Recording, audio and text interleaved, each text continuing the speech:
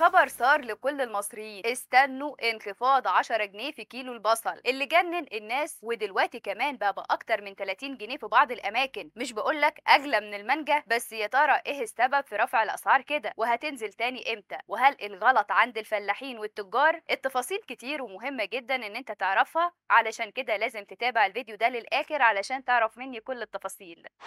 البصل اللي كان موجود في كل حتة دلوقتي محدش قادر يشتريه. ده الكلام اللي بيردده البعض بسبب الأسعار العالية للبصل السنة دي واللي وصل سعره كمان ل 30 جنيه للمستهلك. في أحدث تصريحاته محمد علي فهيم مستشار وزير الزراعة قال إن ارتفاع سعر البصل سببه تراجع المساحات المزروعة من البصل يعني من الآخر حجم المحصول في السوق أقل من السنة اللي فاتت. طيب إزاي سعر البصل هينزل؟ فهيم توقع إن سعر البصل هيرخص مع إنتاج البصل الخاص ببعض محافظات الصعيد وده هيكون في نوفمبر وديسمبر اللي جاي. ومن المتوقع انخفاض البصل ما بين 8 ل 10 جنيه للكيلو الواحد. طيب إيه السبب أصلا في ارتفاع أسعار البصل؟ وهل الغلط على المزارعين؟ مستشار وزير الزراعة خلال مداخلة هاتفية ببرنامج 90 دقيقة اللي بيتذاع على قناة المحور.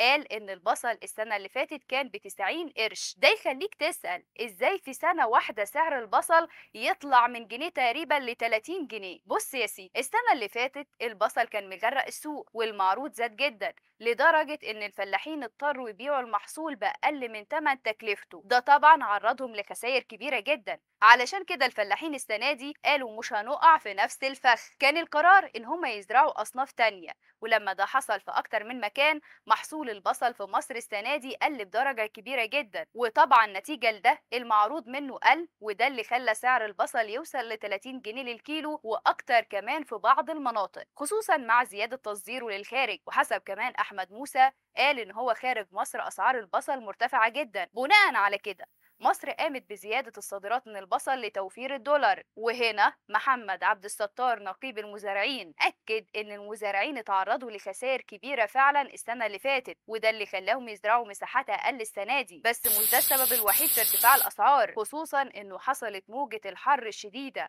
واللي تسببت كمان في إتلاف أعداد كبيرة جدا من البصل خاصة إن محاصيل البصل ما بيتمش تخزينها في ثلاجات ولكن بيتم تخزين المحصول في مخازن غير مبردة. بس الجريمة الغريب بقى إن نقيب المزارعين قال إن مفيش أزمة بسبب تصدير البصل والكلام اللي منتشر ده غير صحيح خصوصا إن طبيعة الدولة لا يمكن إنها تصدر أي سلعة الدولة محتاجاها ده غير كمان إن هو وضح معلومة غاية في الأهمية وقال إن التصدير له مزارع خاصة وده ما بيأثرش طبعا على المحصول الخاص بالأسواق المحلية. طيب يا ترى إيه الحل المناسب للفلاح علشان ما يتعرضش للخسارة مرة تانية؟ قال محمد علي فهيم مستشار وزير الزراعة إن البصل ما دخلش من ضمن الزراعات التعاقدية ده يقصد بيه إن الحكومة بتتفق مع الفلاح قبل ما يبدأ يزرع.